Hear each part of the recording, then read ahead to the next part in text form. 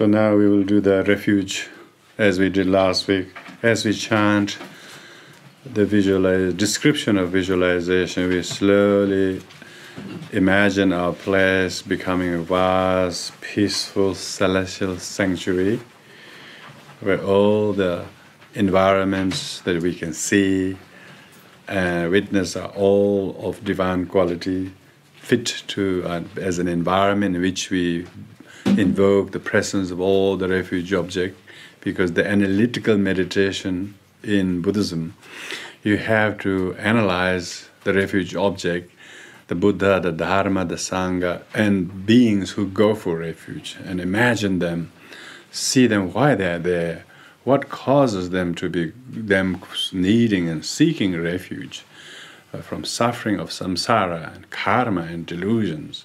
Often they seek help, but they, all the help become mostly harm. Unfortunately, most are deluded and nobody really have wisdom. And here person who seeks refuge as analytically, knowingly in Buddhism is actually they're seeking refuge with the wisdom and awakening through meditation and discipline and prayer, and therefore feel uh, just and uh, engage and cognitively stay in that meditative state, and then invite all beings with you to do the to do the refuge. Refuge expressed physically in prostration form, verbally in a prayerful uh, recitation, and emotionally in form of uh, compassion, pity for each other and not feel, feel stressed by each other's difficulty, but doing this as a, as a kind of a, a therapy to let go hate and anger and stress, drop them as we bow down before Buddha, as a kind of mutual uh, way of learning how to how to find useful to go through the ceremony to express forgiveness to each other, pardon each other, and not blame and re- react and punish and seek help to punish each other even more, as samsaric deluded sentient beings do, but instead promise to bring peace and forgiveness a chance by finding the way of peace and compassion um, in what we call Buddhism. The refuge is where people learn to. Uh, uh, turn to Dharma rather than turn to darkness. So, with that in mind, you employ the body, your speech, mind, meditatively, in an active, creative, but very cognitively, not just merely a kind of faith, but faith that is assisted by reason. Uh, uh, and then the reason which therefore makes oneself very intelligible to do.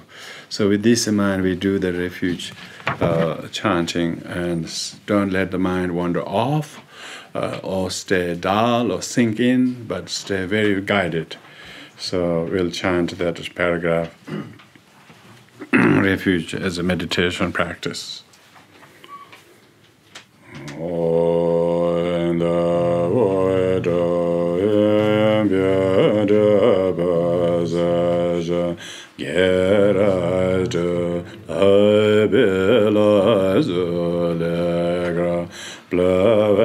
Blaze, bende, blaze, godeza, aneta, leremba, trezembla, mejeba, zengeza, zandarama, haremba, kena, bevavaza, and ewa, blaza,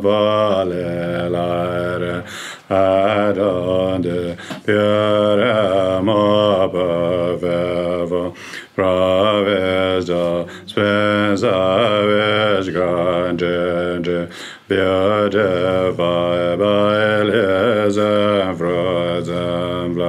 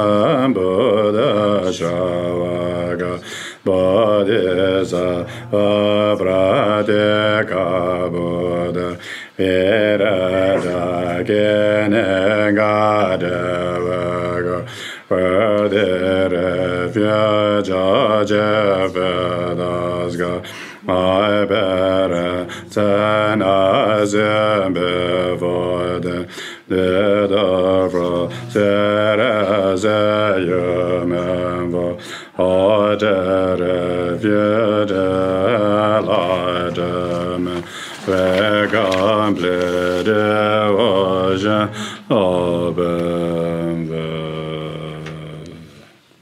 in the most holy Guru, embodies the qualities and deeds the body, voice, and mind of all the Tathagatas, abide in the ten directions in three times. Source of 84,000 discourses of the Dharma, master of all noble assemblies, are in all sentient beings equal to limitless space.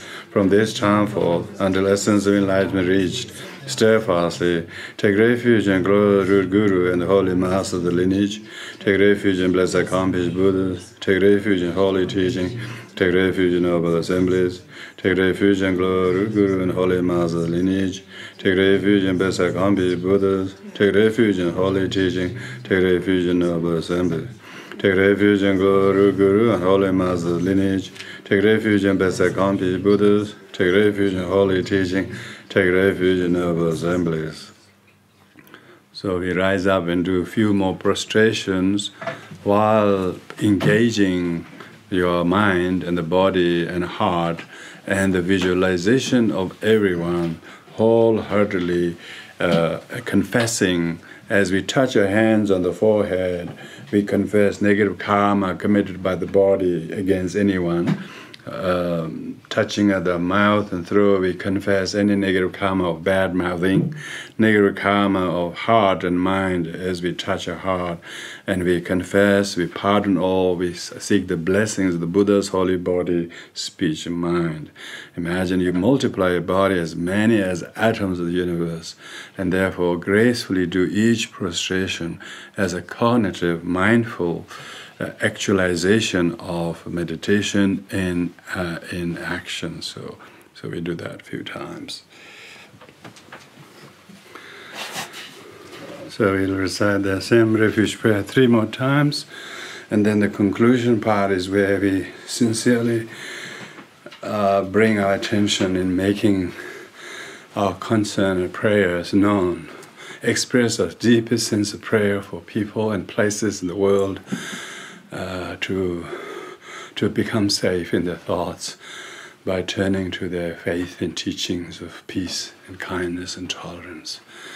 So we, we include all beings joining us in that way, and then we, as a result of this supplication, imagine all the enlightened beings send healing light, and that dissolves all the realities that people are stuck in as nothing has ever actually happened except in the mind. And now, since that mind has been reclaimed, woken up from the sleep, they're no longer in dreaming. And so they all woke up that everything is clear and very clear, and everything is empty. Nothing has happened. If it has, it's finished. Now it's completely new. So, in that way, the refuge dissolves everything into Buddha and the Guru, and finally, even the enlightened one dissolves, and then it dissolves into you finally, and yourself also become completely clear and luminous light. That is our Buddha nature, which is the first topic we talk in the first evening. But we don't claim the Buddha nature unless we cultivate, and that's by taking refuge. By taking refuge in the Triple Gem, then we're cultivating the Buddha nature, not letting it live, uh, leave it as a dormant, but actually cultivating the Buddha nature through the refuge which we are which we have been practicing. Uh, so the mind become very very consciously aware of the commitment of the guidance uh, that teaching of the Buddha becomes a refuge.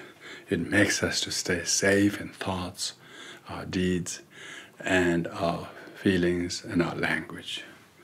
Even though they're still yet to be completely corrected, we still are making peace with ourselves first without blaming things out there. But people who have no refuge tend to do that. Those who have refuge tend to work their own difficulties inwardly first without reacting things outwardly, which is really benefit of refuge, which is sign of Buddha nature being cultivated. So, so for that we will uh, do a few more refuge and then do the conclusion. Take refuge in glory, Guru, Holy Master I take refuge in Besakambi Buddhas. Take refuge holy. I take refuge in noble assembly. I take refuge glory, Guru, Holy Master I take refuge in Besakambi Buddhas. Take refuge holy. I take refuge in noble assemblies. I take refuge glory, Guru, Holy Master Hare Revi, Besakampi Buddhas, Hare Revi, Holy Teachings, Hare Revi, Noble Zambis, Revi, and Glory Guru, Holy Master Lineage, Hare Revi, Besakampi Buddhas, Hare Revi, Holy Teachings, I take refuge in Noble Zambis. In the Guru and three precious gems, I bow down and take refuge. May you bless my master. Oh,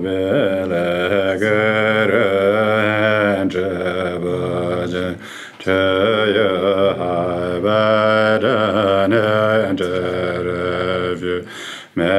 you bless my body was my and as a be bless my mind bless me to reza pato dama swebave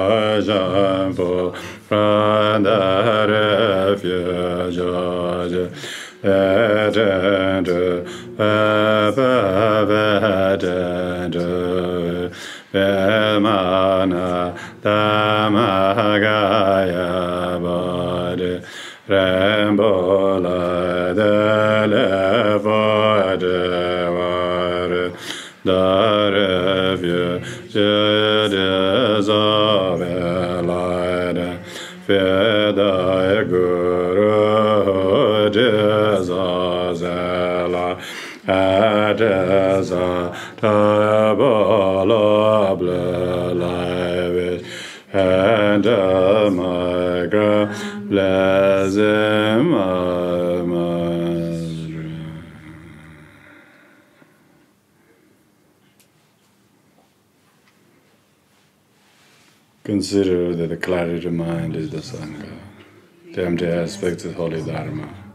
The combination of the two is the Buddha. Its nature, which is non-differentially free, is the Guru. For as long as possible, meditate on this.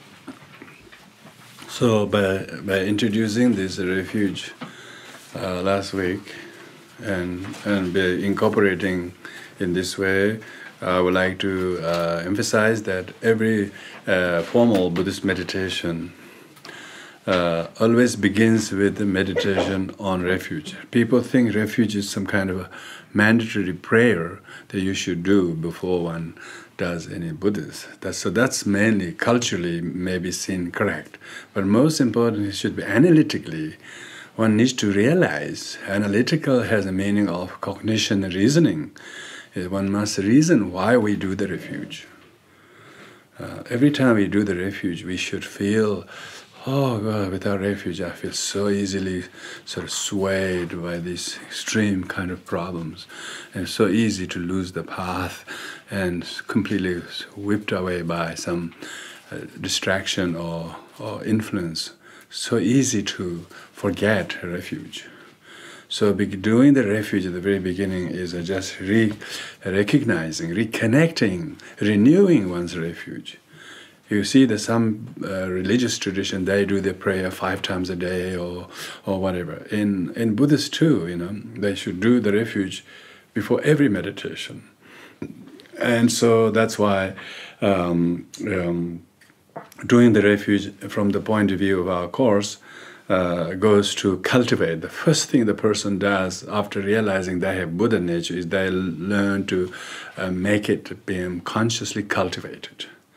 And to cultivate Buddha nature, one has to uh, reconnect with the Buddha as the refuge object and the Dharma as the teaching that makes us to uh, awaken, to stay safe. Because uh, whenever we think in terms of Dharma, how would a good Dharma person respond to this situation? straight away our consciousness changes, you know. Then our personality, our, our individual uh, view doesn't, you know, sway us. Straight away, there is kind of a kind of safe and insane and very intelligent way of resolving the issue. And then all of a sudden we realize we're entitled to do that. You know, we it's free to do that, and you can stay safe.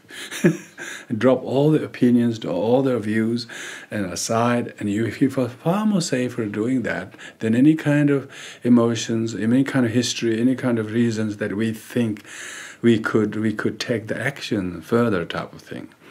And we straight away find that we come to the, to the heart rather than the head, uh, to the kindness rather than to be right, uh, to, be, uh, to be safe and gentle than to be aggressive, uh, to be pausing than to be reactive.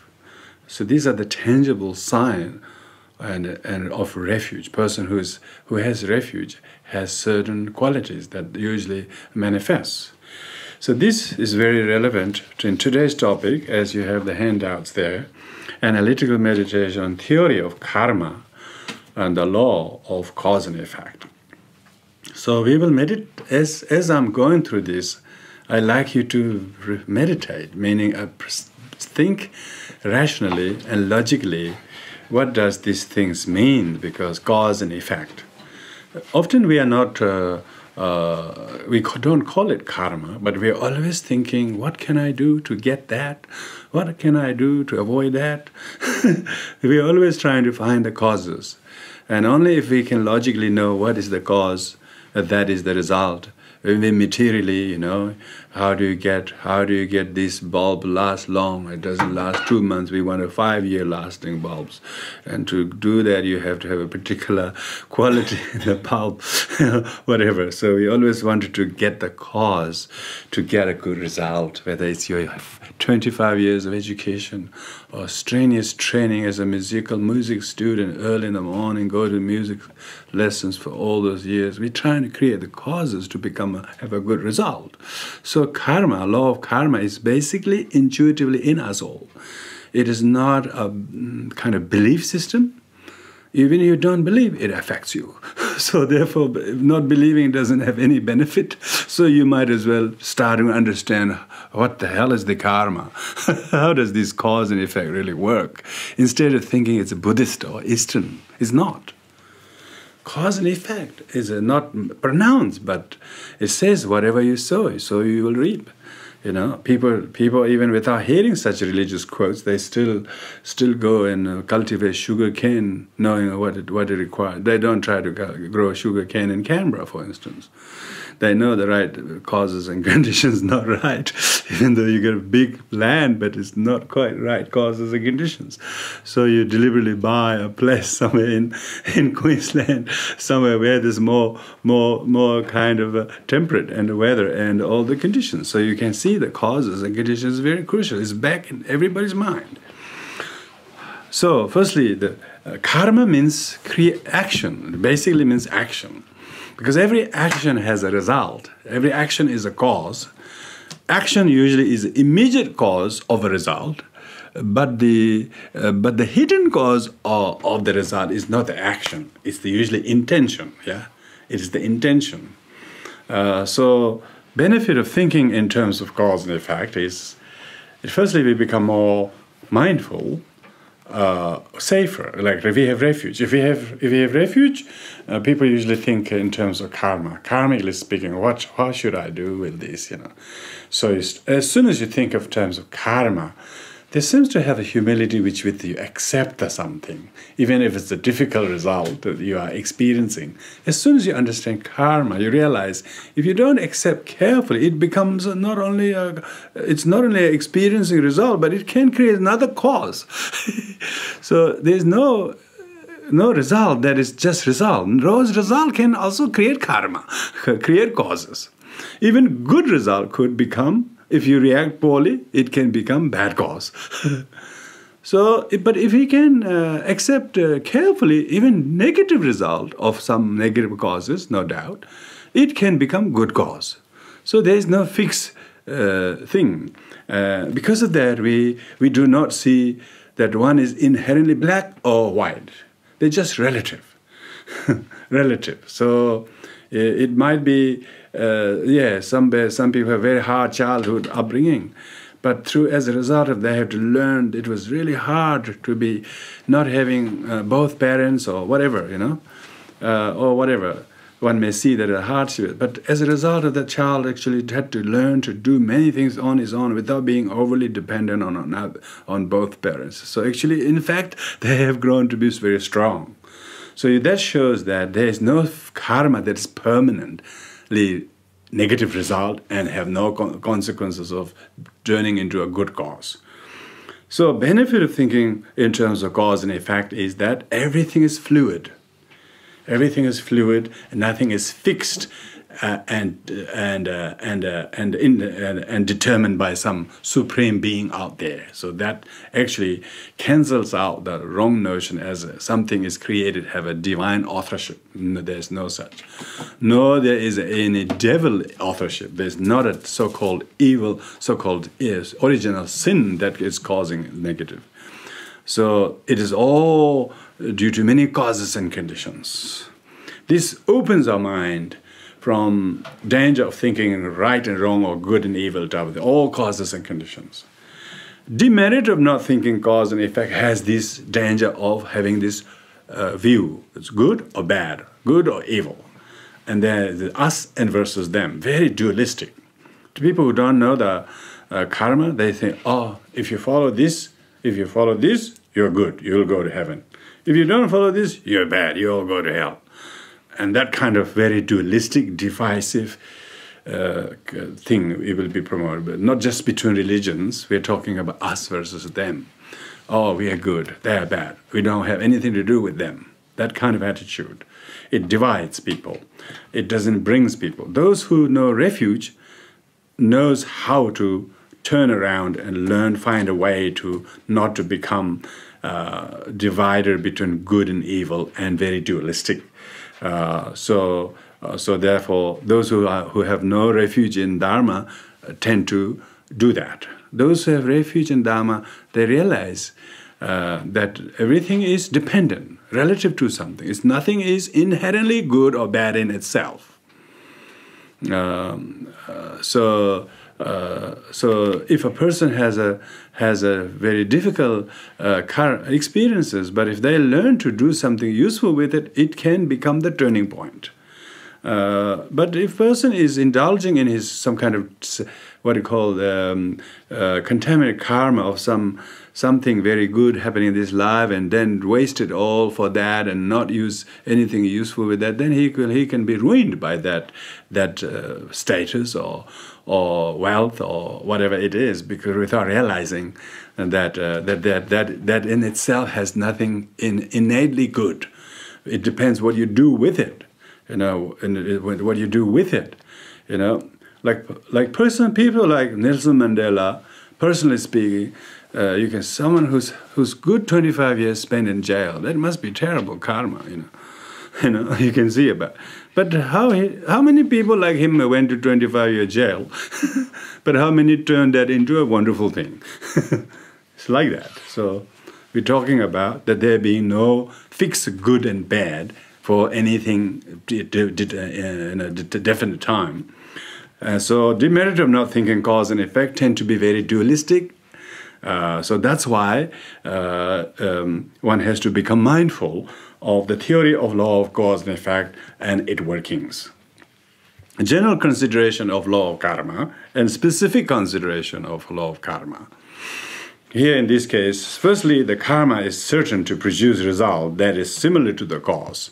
So whatever uh, week uh, one creates a karma, whether major or minor, physical or mental or financial or whatever it is, whatever seed we sow, like if we sow the seed of of uh, of uh, of carrot, it will produce carrot. It's just question how is how healthy it is going to be. It will not become banana. you know, because there's no no similar cause in the result. Uh, so the only thing that will grow is is uh, as a form of uh, carrot, but just question is how heavy will be. And uh, nobody, nobody grow, nobody plant one carrot to have another one carrot. so that will be useless. So therefore, second is it is certain that the result is always greater than the cause.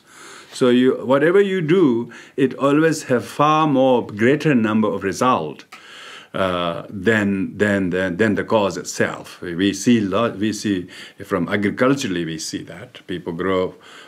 People put maybe maybe five kilos of of the grain or the seed as a seed and strew on the land. They don't do it to get another five kilos.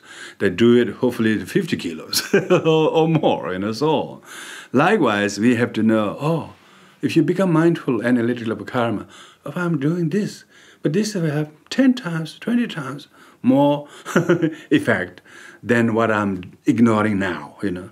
It may look like not, not a so big a thing if I do this, you know, but it will have huge consequences. So this makes us more wakeful of what we intentionally or emotionally or verbally saying or doing. If we're not mindful of karma, we don't care what, what the result is going to be. We might even think there is no result.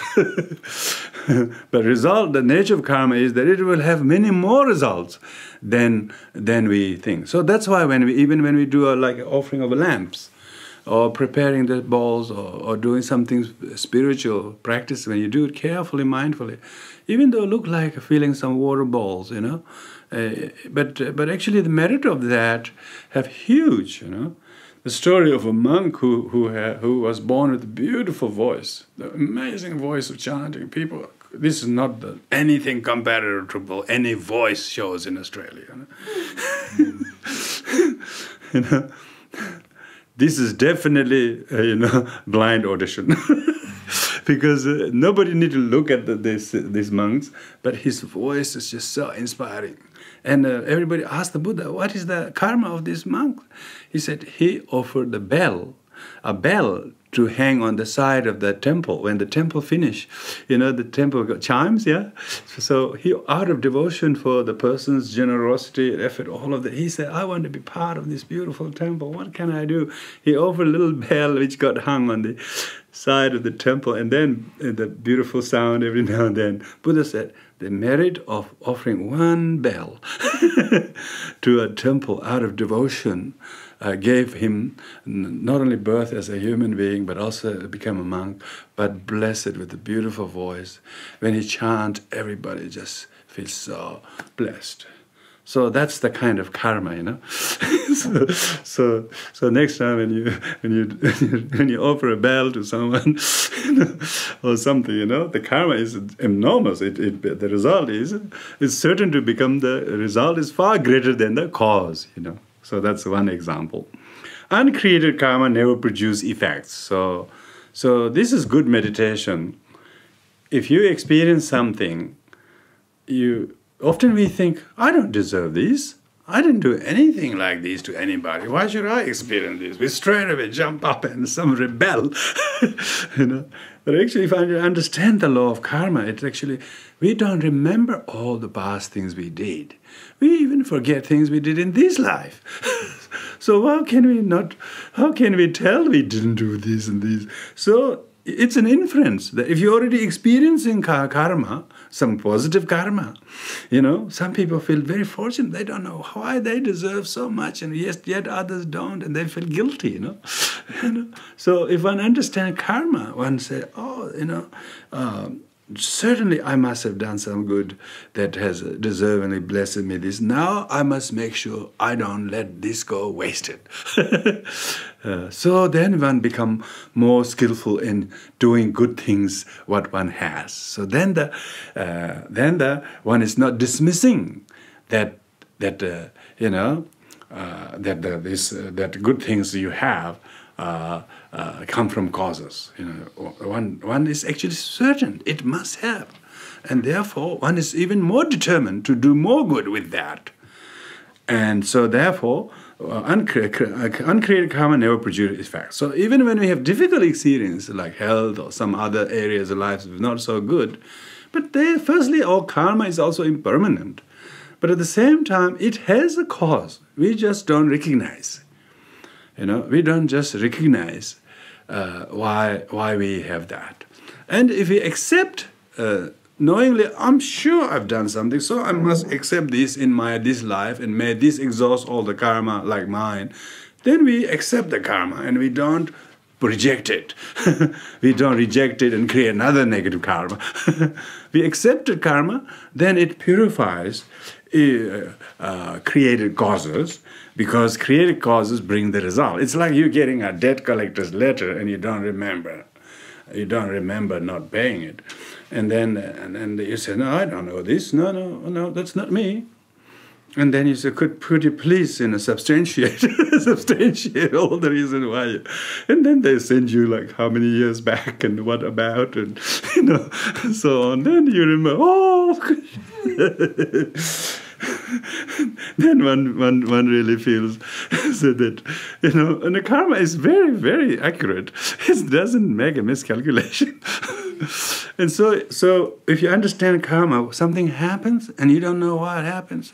And even though it looks like someone really after you just unfairly, you should think, even though people also say that you didn't do a thing, they're terrible. But you must say that, you mustn't say if you Dharma understand, yeah, I know, but I've created similar causes myself somewhere in past incarnation for sure. Otherwise, it will not ripen like this. So with that, it prevents us from reaction. it prevents us from childish reaction, punish somebody else. It makes us humble to accept uh, and then makes us to grow. And then uh, we also don't make it harder on others.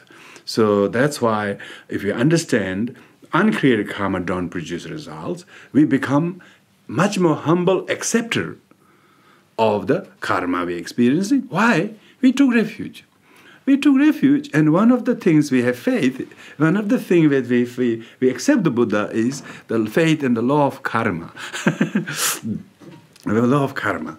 Buddha doesn't reap any benefit by us believing in it, not believing in it. It's not not that he has some kind of a he kind of has, has a collecting some levy. Everybody who believes karma, he gets a levy from that. It's not that. It's not, not so much like tribute to the Buddha, it's a tribute to ourselves, you know. As soon as we remember refuge, and I believe in karma, that's the central doctrine of teachings of the Buddha, law of karma. And so, as a result of that, it makes us safer. Because we have refuge, we're safe from reacting and childishly reacting. We become, uh, uh, in many ways, humbly accept that. And uh, instead of saying, oh, no, it's him. I didn't do a thing. I can prove I'm totally free. I'm not guilty of it. But remember, karma isn't like that. In this world, only they, they look for one cause. And it's very unfair and makes more cause of suffering than any form of justice, justice however.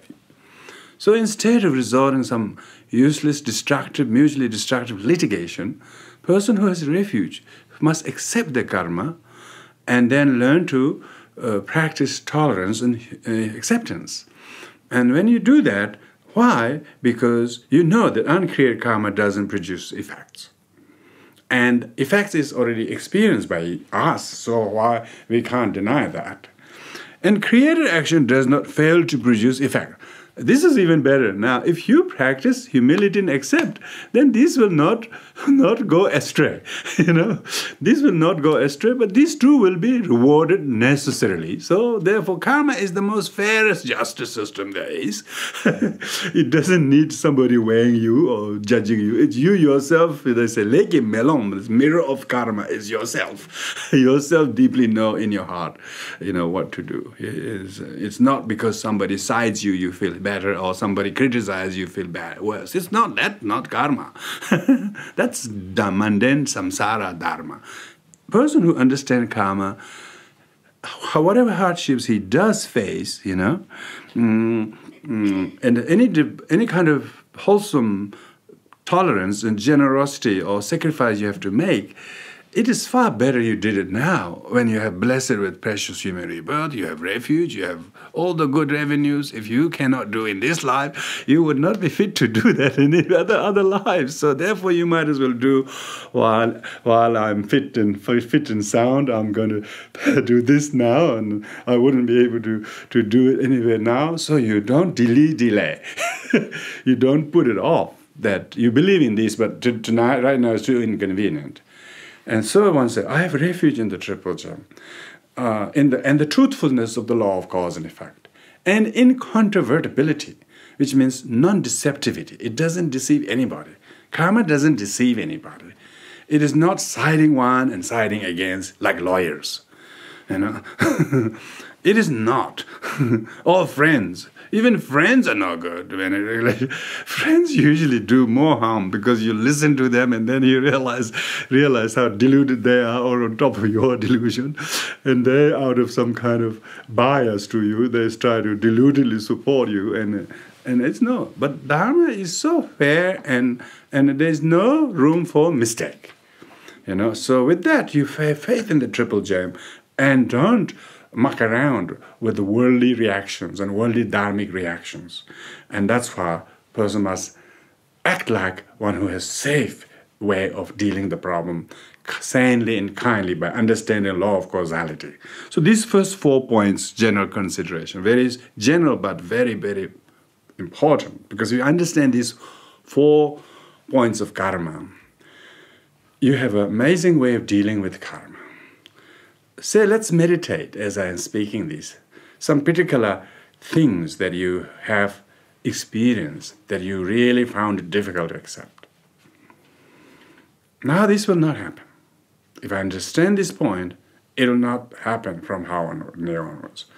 I will analytically see this in a more holistically, and then instead of reacting and overreacting like childish people do, I'll look within my own heart and look at the teachings, look at my refuge, and then my understanding of karma. I shall not react and overreact in the way in the past because I understand these crucial points of the law of karma. What are particular incidents, instances I could bring to my, to my mind that I could bet lot be safer than I have been in the past? I definitely haven't been so fair even to myself, let alone to others, by resorting to and carrying on the way I did.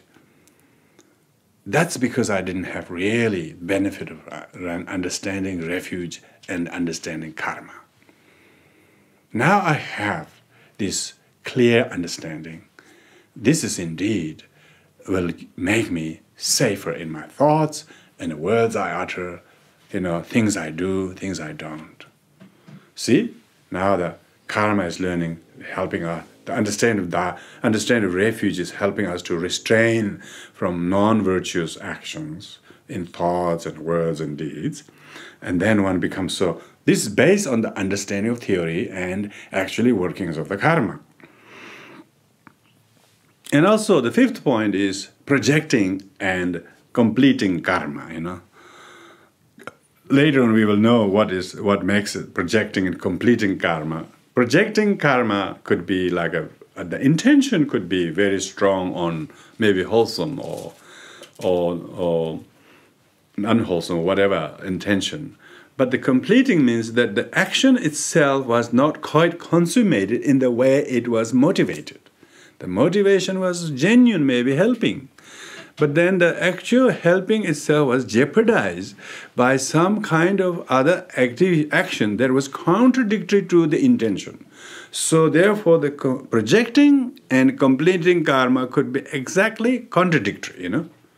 So, there's a lot of people's life in it began so well, but it just ended in such a horrific.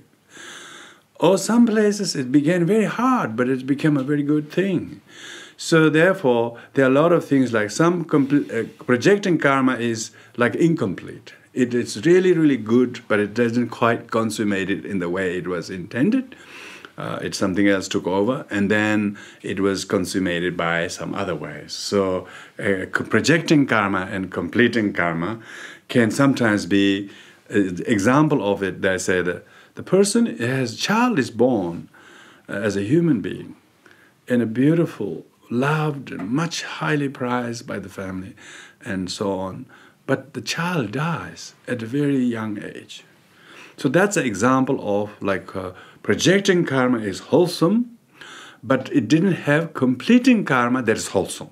Therefore, it couldn't reach age of maturity, live as a human being, die very young. So, therefore, the completing karma uh, is is like it, the child died so young it mother and the father had only misery of having to have the child but no joy to actually give much to see much of him growing. And so there is projecting karma from all sides father mother as well as the child at the same time completing karma.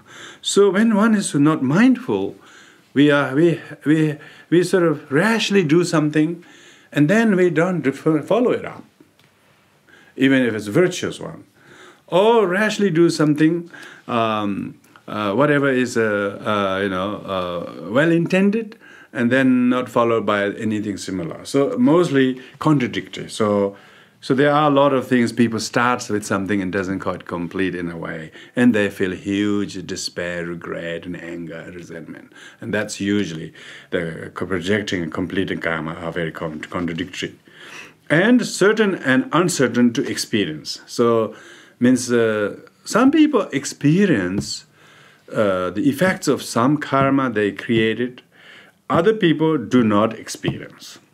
Maybe two people did this very identical action together, but one can experience the similar result, other don't experience result.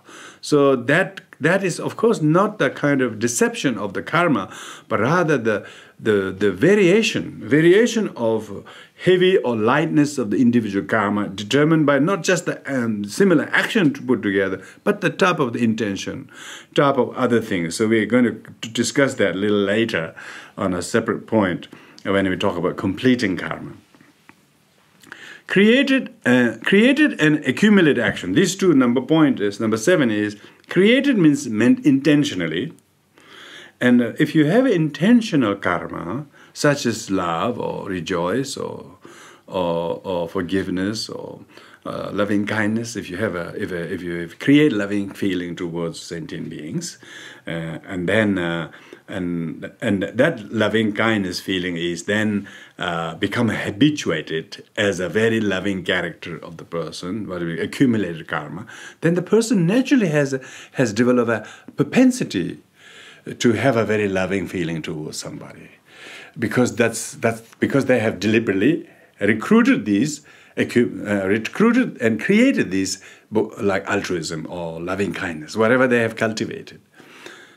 Like others who have very developed a strong ill will towards particular race for some other reason they're racially very hateful to somebody they intentionally hate that, that kind of people. And then as a result of that they always have that kind of innate some kind of a hate towards that. So created and accumulated action. Accumulated means the intention became uh, followed up by many many repetitive actions. And so uh, we call propensities. The propensity become addicted. Negative ones addicted and the positive ones merited you know uh, positive ones are person become very good at it like person who's very diligent with the helping others and sacrificing themselves and they they are not only created the intention to help but they have the accumulated kind of mileage or power velocity with which they can go and help sentient beings unimpededly other people they they cultivate intention but doesn't follow with action. They kind of follow. The steam doesn't doesn't. They don't have the kind of stamina. so the merit is very very lacking, if you like. So that shows that uh, uh, intention is could also intention that is long intention for 10 years ago you recited bodhicitta you've been cultivating and then as a result of that long-term generate in bodhicitta intention have a have a have a lot of accumulated attitude. You always tend to think, oh, I should I lack bodhicitta. That's the problem. So you naturally will find the lack of bodhicitta rather than fault of this, or fault of him, or fault of them. Uh, that's the merit, you know. Whereas a person who is uh, addicted with a, due to a created habit of maybe drinking alcohol and firstly then got really addicted and then he can never get let go drinking so then become very addicted. So this becomes created, becomes accumulated. Accumulated means done so many times that they don't know how to let go. They become overly dependent on it. So created and accumulated action because the person has a lot of mileage, if you like. Like a like a person has flown the air, airplane uh, pilot for, for I don't know many many years, then he would have so many years of flown. So he's considered very experienced. the person who had learned all the theory of of of piloting and mechanical, just he's just recently just got the job and he's, he's got not, a, not the accumulated habit or merit or experience of flying so long. So they, therefore his skill of negotiating with some difficult situation will be limited. So like that, every one of us, if you look at subjectively to yourself, in some areas of life you have really not only created, but you have kept up with that habit, and therefore you have become very good at it. You can see that in people they, maybe they weren't so used to doing that, but as a result of doing five or six years or seven or years, three years, you can see they really change as a result of the habit. So karma also means that which slowly build a new habit. Those who lack one and can destroy existing habit that they have reason to counteract that by the antidote. So karma has a function of, of replacing one habit by another. Why? You know, the karma is not a bygone conclusion. It is subject to change.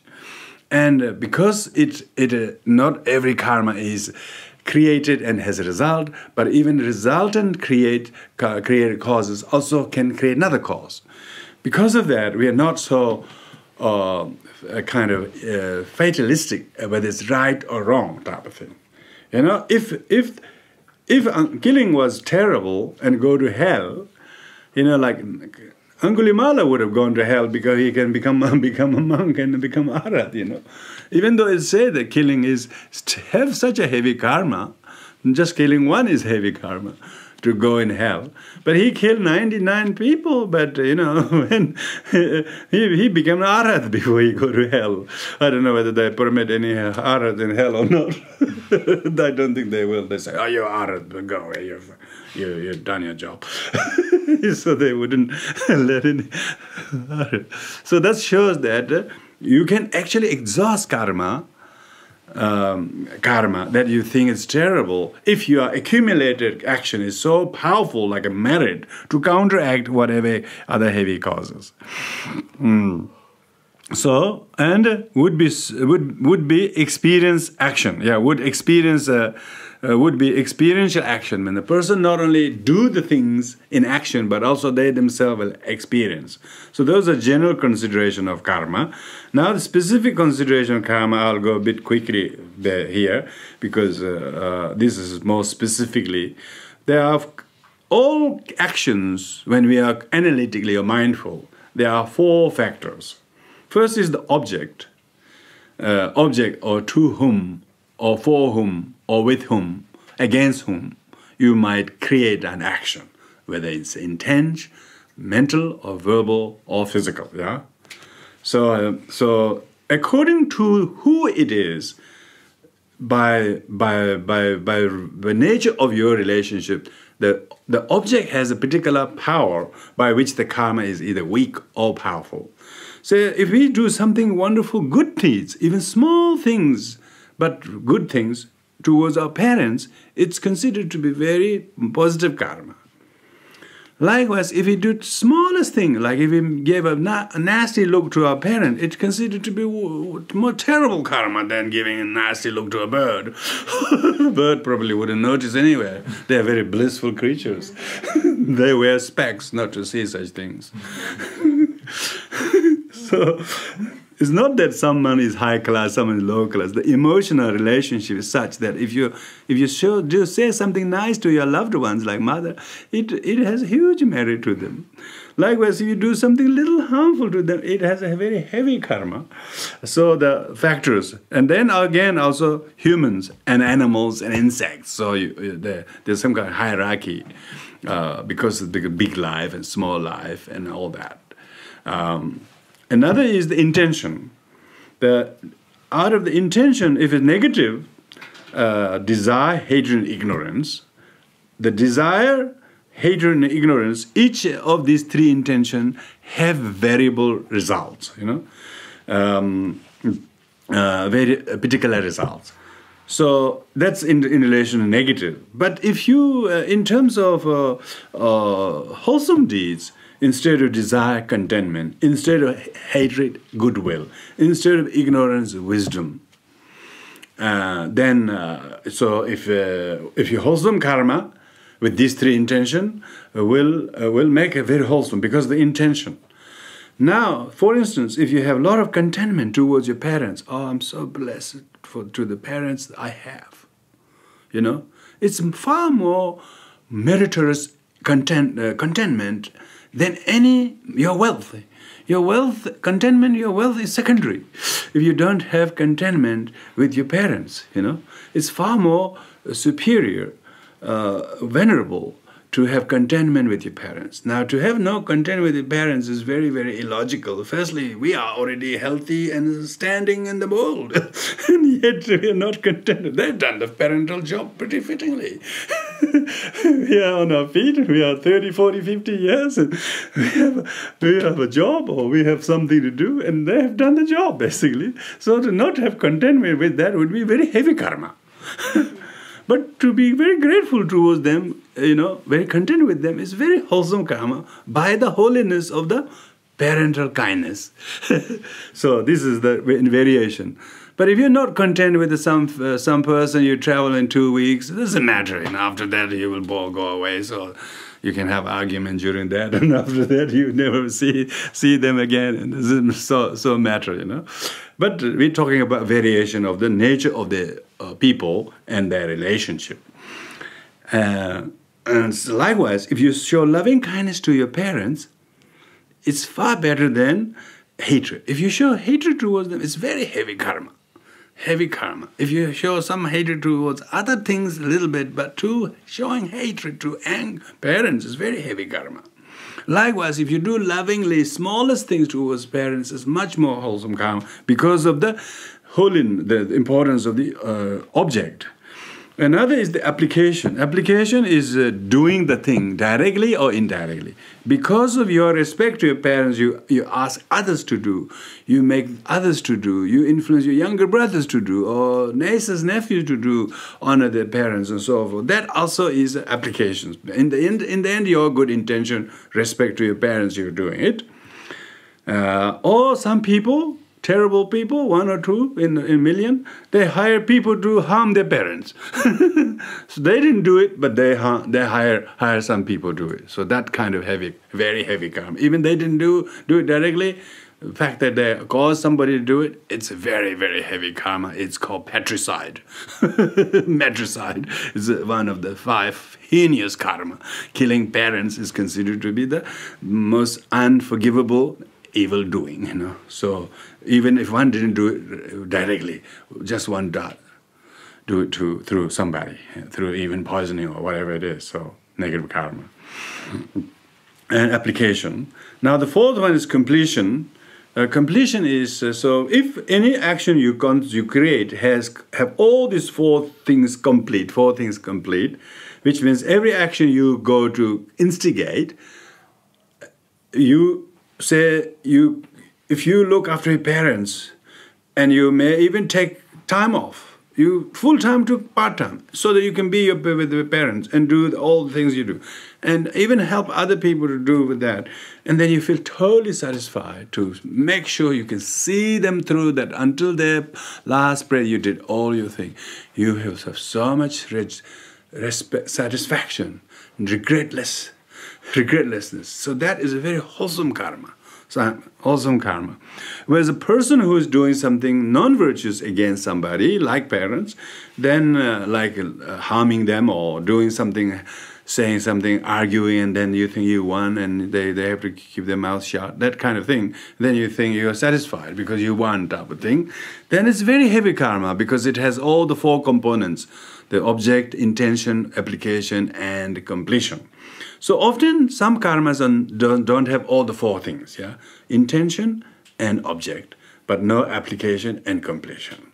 Yeah? So that is where makes, makes karma, throwing karma negative, maybe positive, but completing karma not uh, positive but negative because of the mismatch of the all the causes conditions. It's just like you had all the right right thing you did in the springtime when you plowed the soil and everything, but summertime weeding didn't occur. as a result of that, your crops got destroyed and and there you yielded very little uh, little return. You know, it's like that. So, but if you look after the whole uh, throughout the whole time mindfully, and you went through everything, weather and everything permitting, you did all like a good disciplined kind of farm, then you have a good good yield uh, uh, when you when you have the harvest. It's like that, isn't it? So a little bit of sort of farmers have to be very disciplined. You know Farmers have to be did. They said they can't choose a date. They have to do it, you know. they can't say, I'll do it next week, today I don't feel like, you know. Just missing one night could could lose the whole crops. So that's why when the object, intention, application, completion, when all these four factors complete, then karma becomes very complete, whether it's wholesome or not. Like th- those of us who are here, for instance, we are all born with a blessed, precious human rebirth. We could have been born, karmically speaking, if we haven't created the causes, we could have been easily born as a, not even as a human being, you know, and just as a wild animal and who is completely at mercy of the people and, and the weather and elements. You know, and if they're born as a kangaroo in Canberra, you're very unlucky. They're going to cull you, and that's it. Yeah, that's yeah. You have no say. As, as, as simple as that. You may look beautiful, you may be photographed by the Japanese and tourists, but the the local people want you have too much. That's karma. So this is very very unfortunate. You know, one moment they are very famous, they're national symbol. Another moment they are being culled. The car, the kind of they don't have say, they don't have power, they don't have rights. They they have few people who wanted to serve them, uh, protect them, but they are minority. They're usually even arrested for doing that. so that's the kind of karma, we can, it's a kind of situation. But we are blessed with human rebirth and with precious rebirth, with intent to follow Dharma, meet Dharma. All of these things are not accident. They had object, they have intention, they are various things we did. They all have merited these things. So we must, when we understand karma, we should rejoice. Rejoice our particular situations and make very positive comparison, comparison others, and then feel really satisfied and not feel disconnected or discontented with life and in particular seeing things in life. In comparison, all this my karma isn't really too bad. All I need to do is rejoice this and make good use of this and don't dwell on things what I don't have to be distracted by. When you start doing that, then what you do, the precious human rebirth, particularly the most suitable form of re- rebirth that has a Buddha nature cultivatable when you have refuge, when you really understand law of karma and refuge, then your Buddha nature is not in the jar. It's already in this in the fertile soil. It has already germinating, and water is uh, is reaching there, and and it's now growing. Now, to, to make sure that the seed not only grows but protected from frost and other dangerous things, and you need to therefore take care of the karma one creates. So that's why here we're going to go through the light and heavy uh, variable karma briefly.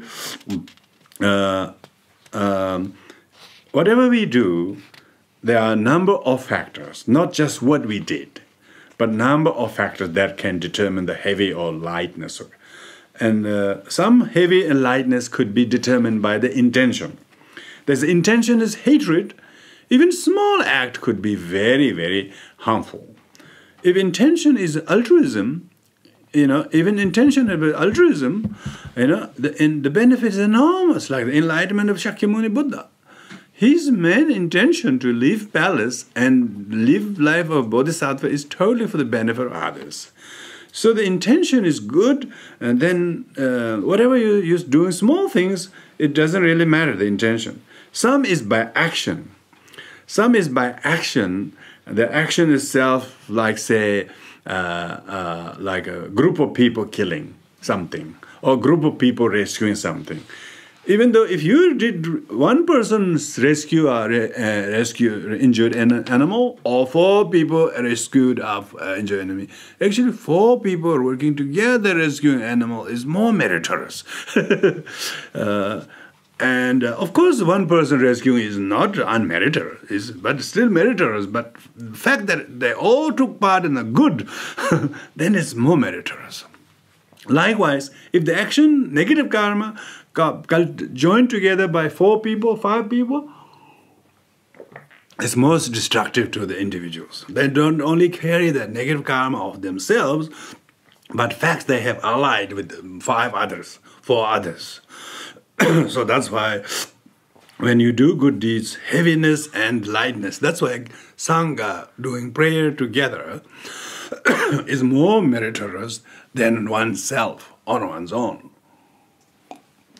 So that's why they always make a mandatory to, and the Buddhist uh, monastics, they should always at least come twice a month, minimum, to attend some prayers and ceremonies and confession and and forgiveness and empowerments and so on. They do this. They get the opportunity to take, take good deeds with a collective number of good people. Another heavy enlightenment is also determined by the repetition and the number. If you do one thing, then only got one, result. You know, if you just sow one seed in your big platy of rice, then the rest of the place wouldn't grow.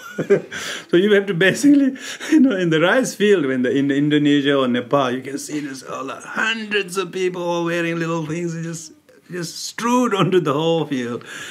Because more people are so planting those rice in those three days, it will be done by the end of the week. but if it's one person doing it, it take ages, may not even do it. So number, you know, number of people, like like you see sometimes the sometimes the ants are trying to pull some little piece of food or piece of breadcrumbs, but he can't quite do it. Like this, you can see, you can see.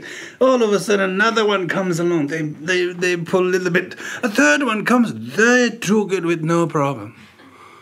See, so good deeds doing together with people. So don't always think of me alone. I will do myself. It's my karma, my merit.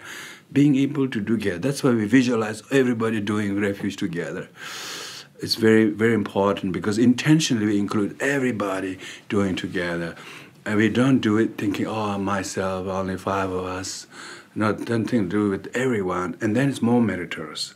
And so repetition and a number. And uh, then, if one creates negative karma by ignoring time and place, and sometimes the, the, the certain negative karma, some things one shouldn't do at certain places. Uh, like people people are not meant to smoke in public places you know?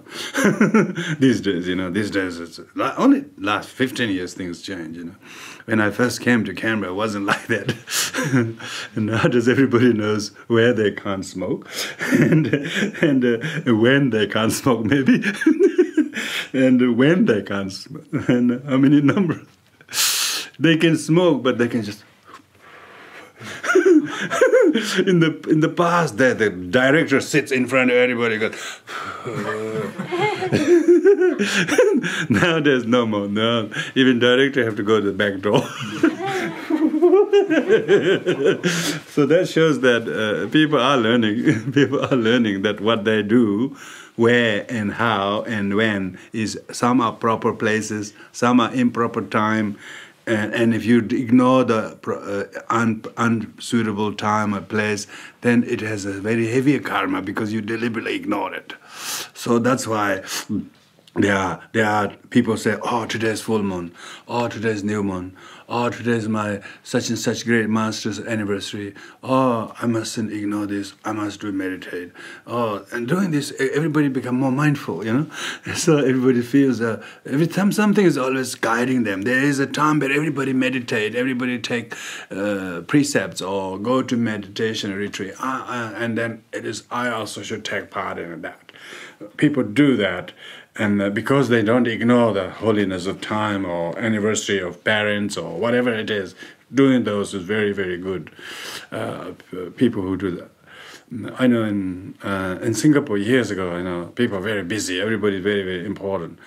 Uh, people say, "Oh, today is my mother's anniversary. I'm taking a half day leave." It's so nice. so nice to nice people remember their mother died five years ago and, and go half day to the temple and offer lamps and do prayers. And they wear a particular band to remember that. And that just that kind of thing slowly builds on skillfulness of merit and timeliness and when and and and so and with whom and and so forth. So uh, yeah, if that's that's really consideration. And then uh, some uh, wrong actions, like negative karma, like wrong action, like people sacrifice animals in the name of God. You know, some people do that in in some lot of animistic cultures. uh, in, in various parts of the world. Uh, they think their God will be pleased if you strew hot blood onto their statues, which is really, you know, such a wrong views. They have no no refuge there, no refuge there. So then then the karma is very heavy, but they are they don't know this. They don't know this. So and then another is heavy or light karma by candidate. Candidate means individual. Individu- individuals who have taken vows, uh, uh, who have precepts, who have who have a who have a particular responsibility to each other, uh, and so if if the responsibility uh, is honored, then by those candidates to each candidate, then the merit is far bigger. You know, far bigger. Like like children uh, showing the regular uh, kindness and respect to parents is far more powerful karma uh, than to showing to strangers. It doesn't mean showing to strangers is useless, it's still good. Uh, likewise, a person who has taken precepts to practice bodhicitta, for instance, and if they go and lose temper and do all sorts of harmful things, then the, then the karma even smallest things they do become very, very destructive and heavy and become toxic. If somebody, somebody who's, who, who hasn't done anything like that, you know, say, say if a good is done, uh, they say a monk or nun, fully ordained one, if they do good deeds, everybody, the merit with them is far greater because of their candidate, because they have the moral authority or some kind of seniority and a knowledge. But if the opposite is done by them, then, then of course more harm and damage will be caused by the nature of candidates. Uh, like, likewise, people with a similar apt, uh, candidate, uh, four do together, it's even more, more uh, meritorious. They say, I we really like to invite four sanghas. I really want to invite four monks. Could you please spare four monks next Monday? Can please send four monks to my home? the three is not quite enough. So they always say, oh, we, we invite four monks. so they always try very hard to get four monks. It's considered to be sort of minimum minimum thing they invite, you know because the because the sangha is very highly revered and it's more the merrier and so on. And then another is by object. Uh, uh, by object is uh, someone whose objects you respect others your objects of pity others your objects of repet uh, sort of uh, sort of uh, rivalry. Depending to what karma you create with what object, then it also could be uh, uh, the, the, the weight of the karma is, uh, is heavy or light. So that's, that's in relation to number of factors. Another is the result. Now the result is the um, the ripened result, which is the um, ripened result is the actual what you uh, what you are uh, experiencing. Yeah, ripened result is your experience, and then experiential result is uh, experiential result is uh, both ripened and experiential result is concordant with the cause. If the uh, ripened result of short-lived, if a person experiences a lot of illness, a lot of sickness, uh, and die young, that's a ripened result of having caused such experience to others before. So they will experience concordant ripened experience of short life, many illnesses. But the one who has saved life and so on in the past, then the ripened result will be healthy, strong, and fitness. And, uh, and, uh, and uh, another is habitual ripened result, habitual result. Some are habitually always like to kill. Some are habitually always want to save lives. So these are also concordant with what they did in the habits. And the third is the possessive. Possessive is sometimes called environmental as well. A possessive has a meaning kind of kind of environment is like that. You can't. You are not exceptionally bad. That's what the environment. You are brought up in environment. You can just possess by that, and you don't have a ability to to disown it because you're completely influenced by the culture in which you are brought up. So that's a possessive karma. So what we have got here, list of the uh, uh, thing down here, is understanding the, mm, the mindfulness of cause and effect. these two columns we have cause and effect, cause, effect. It's good to just look at these briefly. If a person who, who gives who have given care to others, like parents and elderly and someone whoever deserving, and and if they did that on the Monday, if they did that week, they actually feel happy. it's amazing. The effect of caregiving, they're happy. And the and the opposite is if they abandon them, if they abandon them instead of caregiving, they feel lonely themselves. They feel guilty and lonely. And likewise, if you a person who's who have spoken kind words today, and they feel really confident, they feel really good about it. but instead, if they've been they spoke harsh words to somebody in that very day, and and they feel very insecure they feel really bad because that's, it's so destructive what they spoke, and they themselves feel insecure by that. Likewise, if you practice goodwill to somebody, you feel loved. You feel loved by others. You don't feel devoid of love from others if you if you have goodwill towards others. But instead, if you have ill will towards somebody, then then you have some anxiety. You just don't know why. You have too much anxiety, and you just don't know how to settle mind well. You, because in the past, or in the in the morning or afternoon, you, you had so much ill will, and then and subsequently you got a lot of anxiety. Likewise, if you've been violent, and then, like we, I was saying before, if a person who has been violent in the early in their life or to somebody, and they will quickly contract illness and short experience short life. Whereas if we've been gentle with living beings, you know, then healthy and long life. If a person who has stolen something, even he really robbed the bank this afternoon very successfully, nobody found him, he will feel so poor still. he doesn't act like he, is richer than th- this morning. He's actually destitute of security. He is he's feeling insecure, unsafe wherever he is. He feels devoid of security. It's instant karma, basically, we're talking about. And whereas the person who has practiced giving in the morning or the end of the day, they feel abundant. They feel so good. they feel wealthy. They feel abundant. And the person who slandered somebody, the person who slandered somebody, they only experience disharmony wherever they go. They only find disharmony chases them. Wherever they go, they're disharmony because they. And whereas person who has practiced mediation, instead of causing more division between departing, you know, rival parties, but you try to create uh, mediation, then the person is always harmonious with everyone. He doesn't have any anyone who doesn't dislike him, or because he because he's he's such a peacemaker. He's peacemaker to everyone. Likewise, if you have sympathy towards somebody, you feel very comfortable. If you show sympathy to somebody, but if you have ill will towards somebody, you feel sad and depressed. You think it's them.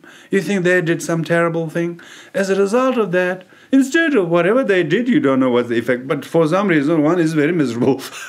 so the effect is, effect comes into the one who creates the cause. You don't have to think it's come from others. No, oneself is doing the cause. One who's contented will have a lot of gratitude. Hmm. So if you have been contented this morning or this afternoon about your work about these various things, and you will have a lot of gratitude through the rest of the day. It's just, and, that can um, almost like uh, insulate you from anything happens around you. It doesn't have the capacity to offend and harm you because you you're protected. You are shielded by the refuge of Dharma. we mean by refuge. Then now this is real refuge, functional refuge. It's not the Buddha's hand covering you. it's not all the scriptures wrapped around you that is protection. It's not all these amulets hanging all over your ears and mind. but your mind is very, very secure. Yes, if you are greedy, you feel really discontented. Whatever you have is not, you can't even see them. You want something so bad, you are, the greed is so debilitating. Person is never contented. So easy. Well, whereas person who's compassionate and he's really loving, you know, when you are compassionate, everybody loves you. Everybody loves you, and you don't even know why. Because you, you, when you're kind to others, it naturally, naturally incites love from others. And instead, if you're malice, if you're really ill will, and you have that, then they say, you know, I mean, this is deformity, doesn't mean instantly. maybe there is an instant. Maybe the person's face shows pale and slowly become deformed. But generally, say people who are born deformed, it's because they practice um, malice in the past life. So this is this. Here I have put quite a bit here, like praising. Person who praise others, speak kindly of others, they have fear. They fear nobody, fear nobody. And and scorning. A person who have scorned other people or spitefully spoken other people, they feel rejected by everyone. They feel rejected. They don't feel unwanted by anybody. Like a person who's practiced right speech in the past, they're blessed with the right voice. Or even they just offer a bell, they get a good good speech. so, you know, person instead who've been bad mouth, they're born deaf, dumb, and speech defect, and they can't speak. They can't. Uh, um, they stutter, and they have very difficult, very, very fundamental defects. And person who's practiced giving, very optimistic. They always always find a way to find something to help each other. Whereas a person who's not very generous, always negative. Oh no no no, that can't happen. This can't happen. Very negative, always very dissuasive. People who are generous, they make many things possible.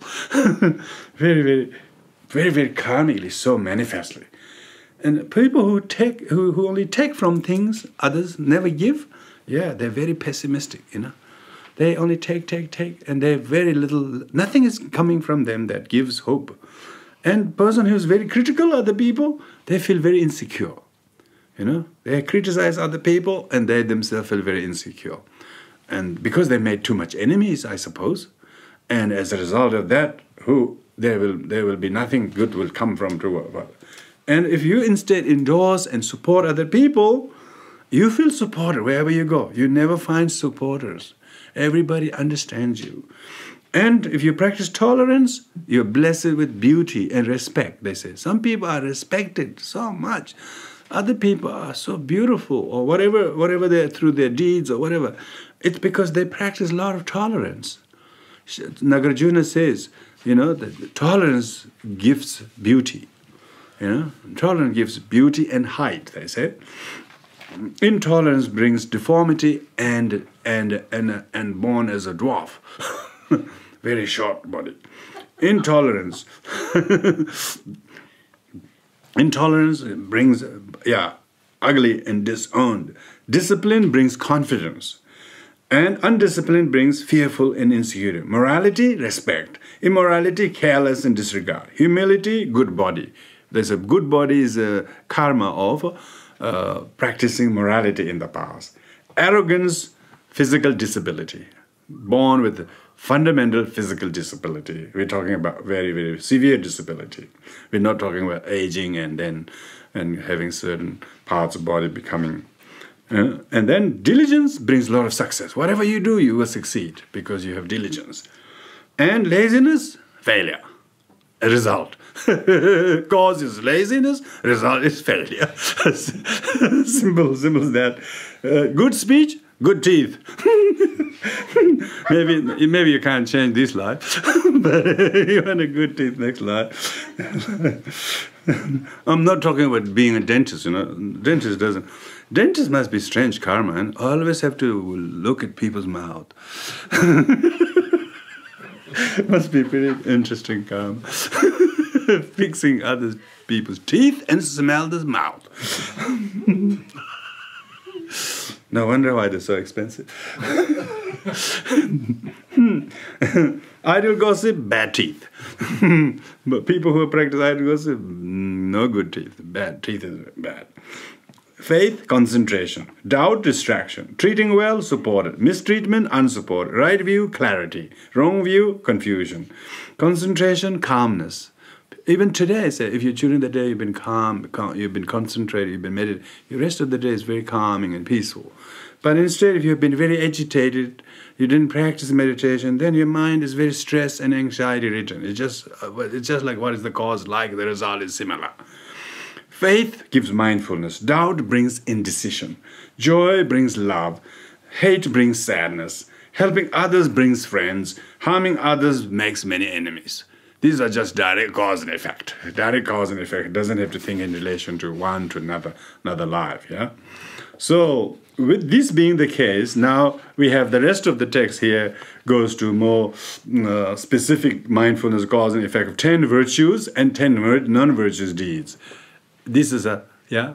So I just want to ask, with uh, criticizing and slandering, can is there a distinction between doing that and, and speaking out against suffering? Like if we say uh, Tony Abbott is not nice, the way he treats refugees, he does not show compassion. Is that slander? Um, base, no, not as, the, see the the object is Tony Abbott. so he's a public figure and he's got a lot of lot of admirers for what good or bad reason we don't know so it will it will criticizing and Tony Abbott will have many effect effect to not just Tony Abbott but lots of people. So from the object point of view, probably is a is the one you should we should learn to treat a bit more carefully than anybody else. But from the intention point of view, say it's a very really big issue that he's got a, such a rigid uh, kind of un giving kind of policy, which is quite un-Australian and un, un, un, un, un, un uh, first world country, then its subject can definitely rise and say. So intention, if the intention is out of not about political kind of bias against, but just genuinely uh, over the issue. So then the intention, it's mainly the intention. Mm-hmm. And then its a daily question is just not just criticizing and slandering, but saying something that is really constructive, that actually can change the mind of people or policy, that actually can have some positive effect rather than just slandering him. Slandering for the sake of slandering is a negative karma, uh, even for the sake of others. But if speaking with intent with which one skillfully can cause some good results, you know, to make worthy for oneself to stand up and say that uh, for the goodness of many, but skillfully, not just to make him look bad, uh, as we are more courageous, you know, because we, are able to stand up. Uh, others dare not to do type of thing, thinking I can do it because I don't want, don't mind my status or my future. And that kind of pride, if it's pride is more involved because against a public figure, then that could hijack the very cause of it. so this is what we're talking about, not just the object, but also the intention. And then the action, the manner, the manner which you eh, you're going to solicit, you're going to voice your concern, whether that's actually produced some positive effect, or it only only made it eh, you know more counter, counterproductive and didn't yield any benefit, and you also wish, oh, oh what a waste, and you have no satisfaction you actually feel regret what I've done, you know, now, you know, and next day you lose your job because because such people can do that, you know, such people can do that, you know, they they can appoint you, so put put it Australia as a sort of ambassador to Ukraine or something if they like you. if you, they don't like you, they can call you next day. so so therefore they are they are not a sort of ignorable object. they, so because of that, the object is a see by virtue of the object, because it's such a public figure. Um, what we say and what we do, unless we are very skillful, it will be only more harmful than benefit. Uh, but we are very skillful and uh, very, very, very, uh, um, uh, and uh, and uh, very, very good motivated. Then you might even feel satisfied. Maybe in the it took first six year he didn't do anything but towards second year starting to do some changes. And maybe then then we know that it has been not fruitless effort because it can't be fruitless effort. Every effort has a good fruit. Uh, so we must have faith you know. So the satisfaction level may may or may not be uh, this is what throwing karma may be very good with strong intention, you know, exactly knowing who the problem is and so on. But the completion may be quite uh, quite a different thing, you know. So that's that's due to many many many factors.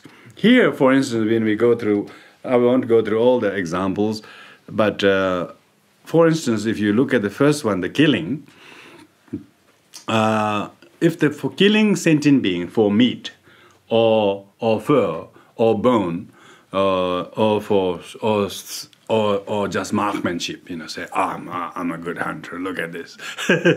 so you could see that, but killing could be motivated either by desire, uh, so that's all of those above is desire, meat, you know, fur or skin or uh, marksmanship, and those things are all due to desire.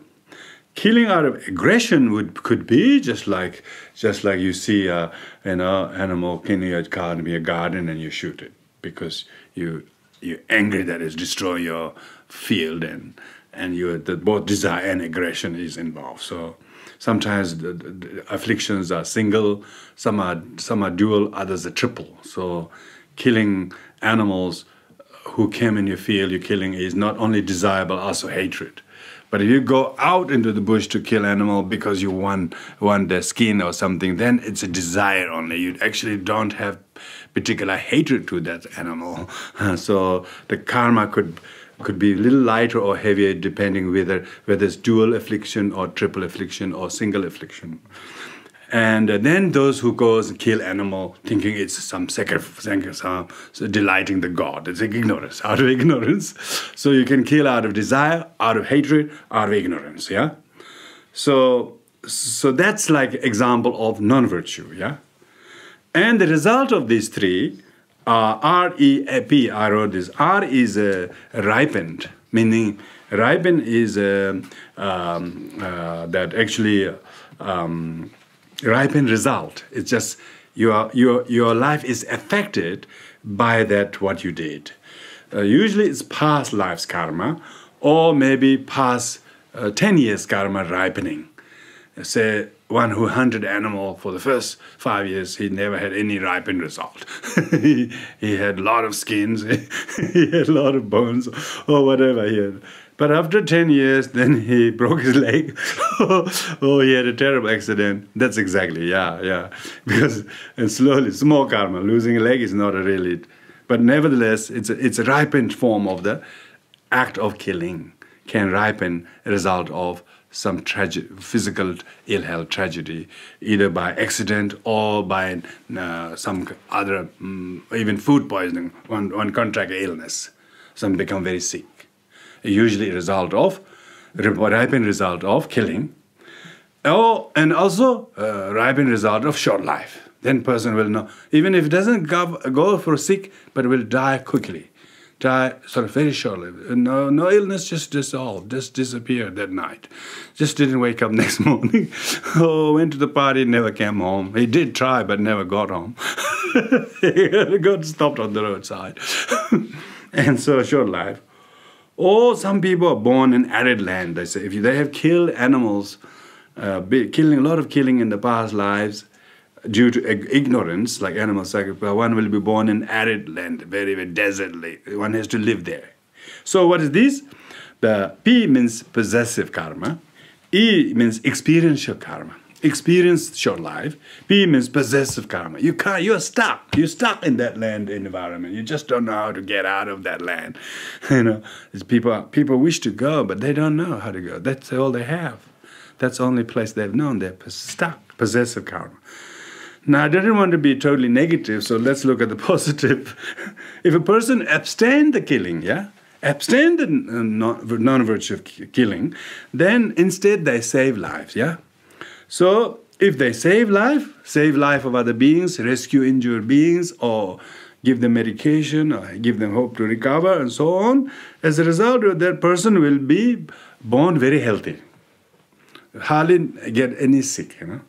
And uh, not only healthy but live very long.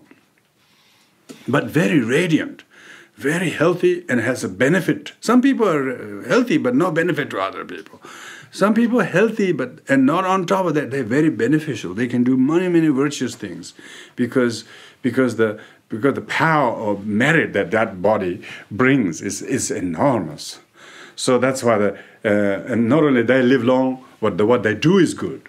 What only not only that what they do is good they they they give radiance and hope in other people's lives. So that's like so mindful of uh, this in, in terms of analytical meditation we have to therefore mindful oh what i'm doing with this creature even like a little, little ants and on your in, in your room, you know, it's very good to be mindful. How can I best uh, uh, uh, deal with this, you know? Because is it because desire I'm, I'm doing this, or is it because I'm angry with this, angry in your table or your room? the, the ant might think it's theirs. you know, so so so it's a very powerful uh, indicator of our whether how much we understand karma. You know, intentionally do we do we become more a little bit more careful than normal people. Normal people straight away bring some. Psh, they got a lot of bug killers, and and they think it's nothing. It's just normal to. Psh. or, be, or be become mindful a little bit. Is, is there a little bit more safer way to do this. I have refuge. I'm not supposed to kill any sentient beings, particularly just, just because I'm attached to my table. or oh, my little honey jar. maybe, maybe you can just give that honey jar to them. but maybe, maybe you can let all the ants go into the honey jar and then slowly close the jar and put it nicely somewhere. they can live there for as long as. so it's just like that, you know. One becomes mindful of you know, analytical, you know. Analytical meditation, Buddhist teaching is very powerful, isn't it? It changes people's. It's all of a sudden.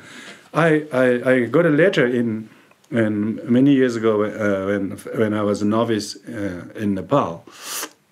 And this is Australian man, first Australian man who became a Buddhist monk. And he said when he stopped in Singapore and he was allowed to stay in a Buddhist family, and uh, this was really devout Chinese Buddhist family. They were pure vegetarian and they wouldn't harm an ant. Even though a place like Singapore is very lot of creatures, but this guy was was was putting food for the rats. Uh, so that they can feed on and not killing an animal. And he was so careful. And this monk uh, come to Nepal and he said, I've never seen people can be so kind.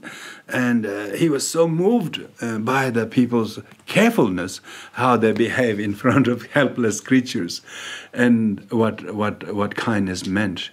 And the kind being kind to parents, and also, of course, of course, very important, but being just kind to helpless sentient being is a very powerful revealer of uh, meditation of the person's understanding of the first uh, precepts of not killing, you know uh, and intentionally not killing. You know, there's a lot of accidental killing, unintentional killing. So most people's life cannot escape that, unfortunately.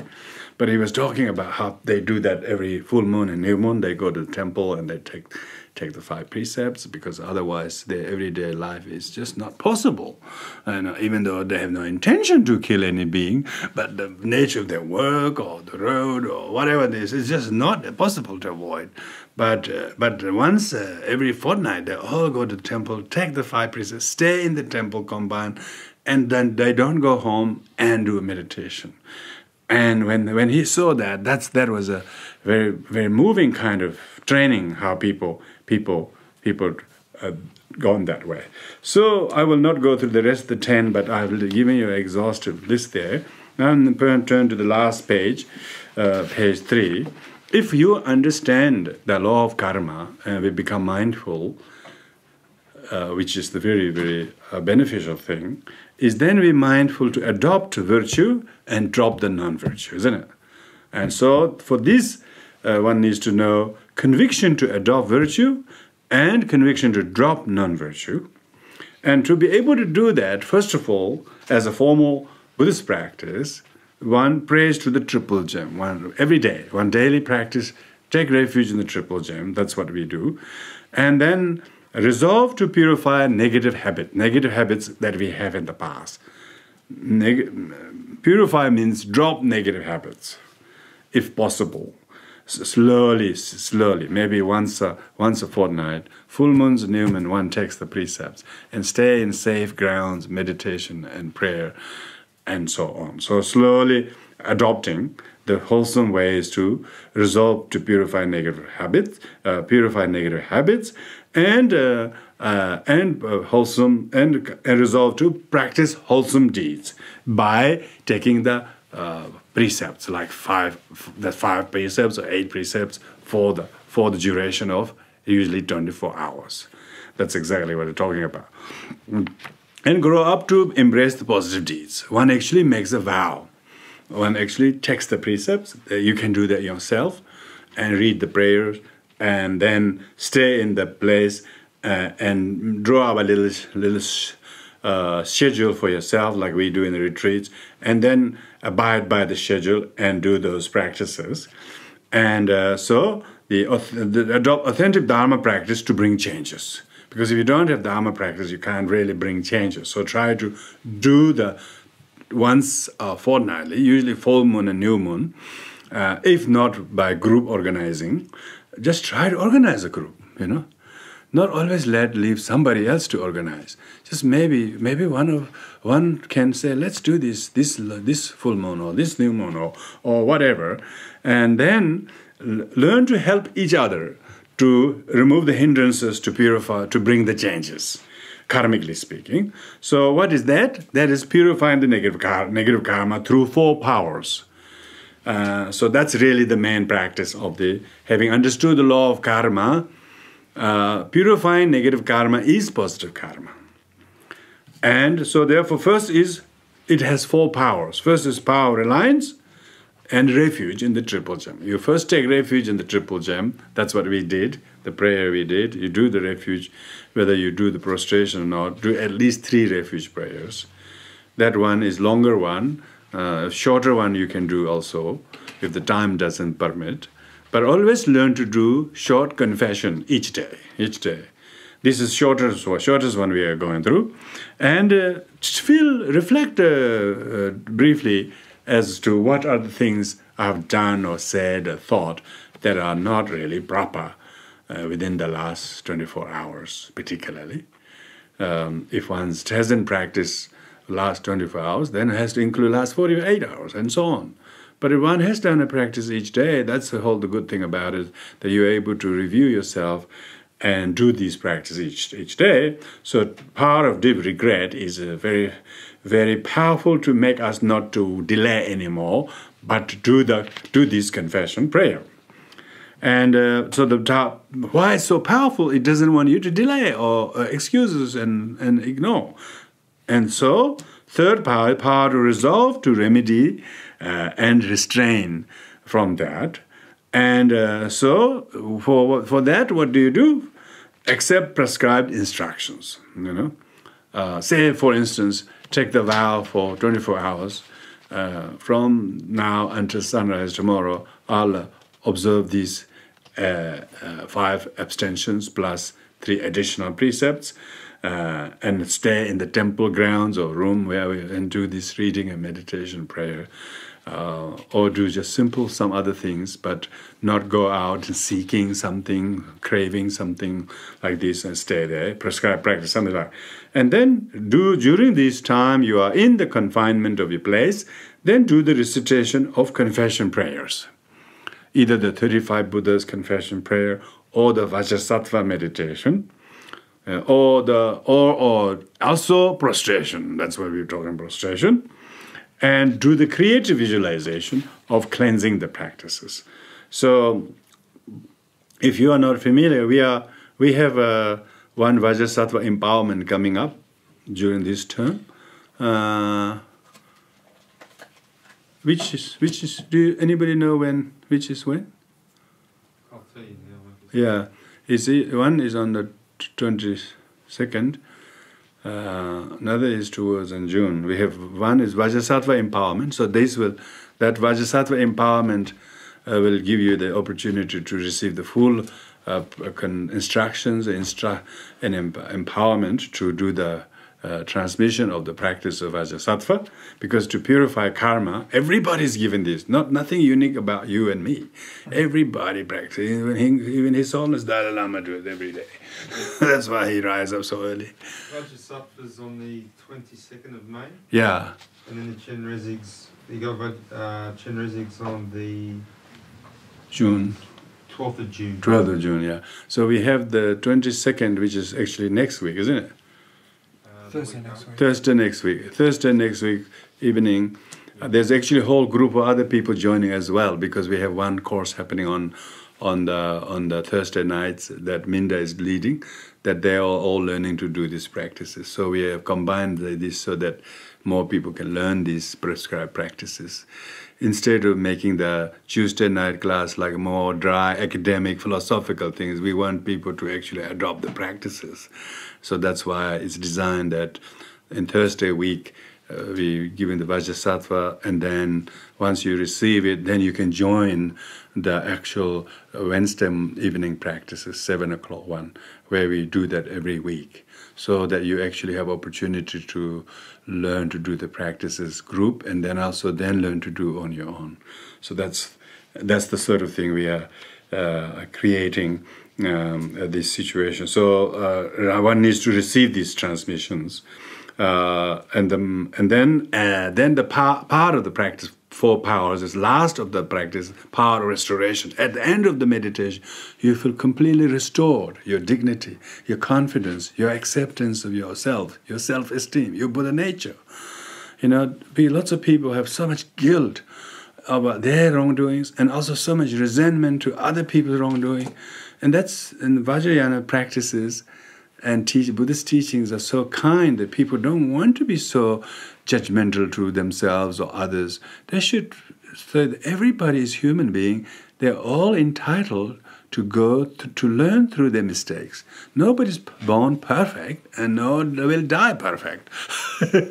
and so it's good to be able to practice the teachings through which we learn to forgive each other and forgive ourselves. So that at the end of the practice, then the one is meant to feel really restored, no longer have the same guilt or regret about that and animosity and judgment towards others, and they're recovered, you know.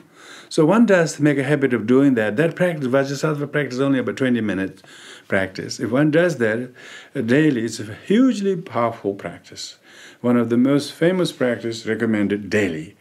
And then here I have given you is if you if you, just for the sake of this class, what you do is you can recite this verse. This verse is made uh, is is authored by Samantabhadra Bodhisattva, one verse confession.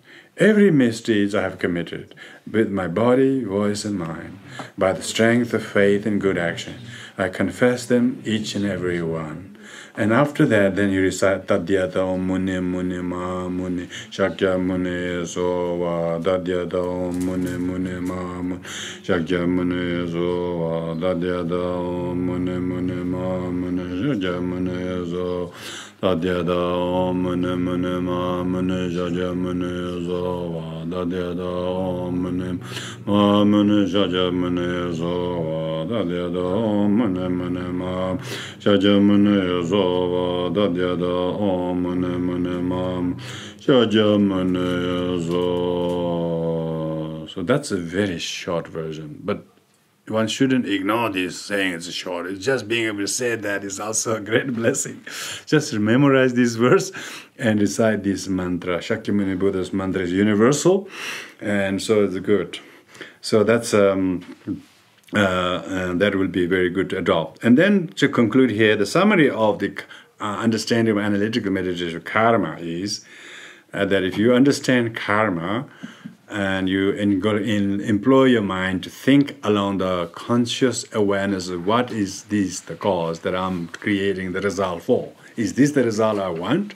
Do I get this result by doing this? Just having that kind of mindfulness is constant meditation. Actually, constant meditation. And a summary of that is success of change attitude on cause and effect. No, this is not the cause for that. This is this is cause for this. You got it wrong here. if you want to, if you say this, if you think like that, this is not this is not good cause. This will bring this result. this is salt. This is pepper. This is chili. This is sugar. so you you recognize the ingredients very well and check which should go in which food. Uh, does this goes in this? This no no no and then removing wrong views, removing wrong views, saying that you don't believe in karma. It's not a belief, it's just awareness. It's not that you believe in some theory. It's actually, we are aware. We're always very careful. When you drive carefully, you reach safely. it's just simple as that. And you and you forgot, and you drank a little bit at the family's friends party, and then you forgot that you have to drive. Yeah, then you can't drive. the other the other morning, you know, this is four thirty in the morning. On our net, uh, I get up around that time, and I noticed somebody just, just parked on the next to our nature strip. I thought, uh, what what must have happened? An accident or something? I went there. The guy was sitting there and holding the steering wheel, but, but he's not. And I thought, maybe I knocked his window. I said, what's wrong? He says, ah, I'm fine, my dear. I, am not safe to drive. I had too much to drink up the club last night. So cute. He's really good, you know. He didn't want to go to go drive because he knows that he's if he leaves goes the main road, he's he's he's not only a danger to the road but also to others. So he's just sitting there. He said, "Hopefully, I will I'll get things will clear." oh, so I said, "Do you need help?" He said, "No, no, I just I just need to sit there." It's just like that. It's that's kind of mindfulness. he, he mustn't be totally drunk, huh? he, he's aware that he's drunk. He's got the danger of being caught anyway. and so he's stopping there and he doesn't want to drive. So it's that kind of mindfulness is what changing the attitude about. You know, it's not the police or the road that is against us, but oneself is not safe to be there in the first place. And so he was, he was, he was parking there, and I didn't mind it. otherwise, otherwise, saying we just had the gardener come and mow the lawn the day before, and he's just parking on the. so I, I had to change my karma, my attitude. no, my intention wasn't really so much. Maybe he needs a help, but then, and firstly thinking, what? Why is sitting there type of thing? it just changed my attitude because he he, he sounded very careful, you know. Mm. So that's the talking about mindfulness of cause and effect, and uh, removing the wrong view that what we do has no consequences, and and they will have consequences, and being able to avoid the smallest. You know, do not think of a small virtue will not reward in the future, just as falling drops of water will fill a large container. And likewise, do not think of a small misdeeds will not result in the future, just a spark of fire could incinerate whole forests and leave no trace of it. So there is no small karma uh, that is ignorable, and so there's no small, small karma that we should uh, dismiss it, whether virtue or non-virtue. And that is really meditative, meditative in the sense, makes us much more present. So, so that's that's all we have time for tonight. We will conclude here. Thank you for your your karma of listening to the teachings, uh, which which which creates an opportunity for me to have have a good Tuesday evening. so, so we will conclude here. We'll say the prayers on page 11 and 12, uh, which is to share the merits and dedicate uh, for the benefit of all as we intended. By the merit of this merit and the state of omniscience, defeat the evil enemies of defilements. May I liberate all sentient beings from the samsaric oceans, the turbulent waves of birth, body, sickness, and death. By listening to the precious and excellent her teachings, whatever boundless merit I acquired, may all sentient beings become precious, and to retain excellent and precious and teachings. May the supreme and precious bodhicitta take birth in our dance soul, where it is born, made, and increased abundantly without degeneration.